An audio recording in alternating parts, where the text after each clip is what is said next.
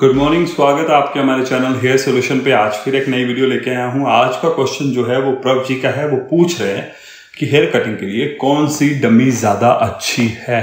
तो आपको बता दूँ, प्रभ जी, हमारे पास ऐसी डमी है, पर आप अगर विदाउट शोल्डर लोगे तो वो सस्ती मिलेगी। तीन हज़ार, चार हज़ार में मिल जाती है। ये सात हज़ार, आठ हज़ार की है स्टार्टिंग रेंज दोनों के बाल जो है वर्जन मतलब ओरिजिनल होते हैं, हंड्रेड परसेंट ओरिजिनल होते हैं। आप इसमें ब्लो ड्राई कर सकते हो, कट कर सकते हो। इसकी लेंथ क्या होनी चाहिए? Twenty two twenty four inch, बीस से चौबीस इंच तक मतलब दो फीट तक। तो आप देख रहे हो, इनकी लेंथ जो है, काफ़ी लंबे बाल हैं राइट ये मेरी डमी है तो इतने लंबे होने चाहिए। तब आप पूरे हेकट जो है जितने भी हेकट होते हैं, वो सारे कर पाओगे। अगर आप इतनी लंबी लेंथ की डमी लेते हो okay?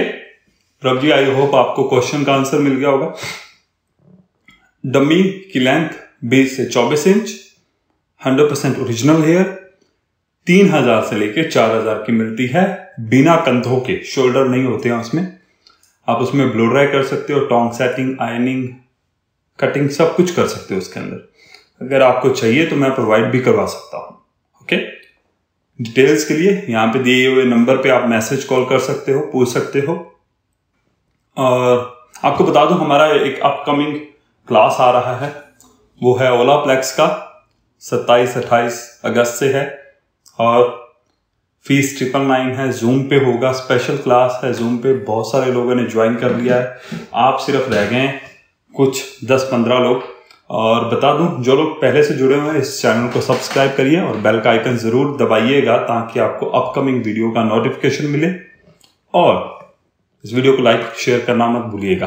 कमेंट भी करिए। अगर आप इसी तरह अपने कमेंट भी चाहते हैं कि वीडियो में आए तो अच्छे अच्छे कमेंट पूछिए अच्छे अच्छे क्वेश्चन पूछिए। आपका क्वेश्चन भी इस तरह से वीडियो में आ सकता है फ्यूचर में। ओके चलिए, आज के लिए इतना ही। फिर मिलते हैं नेक्स्ट वीडियो में। तब तक के लिए bye take care good night have good day enjoy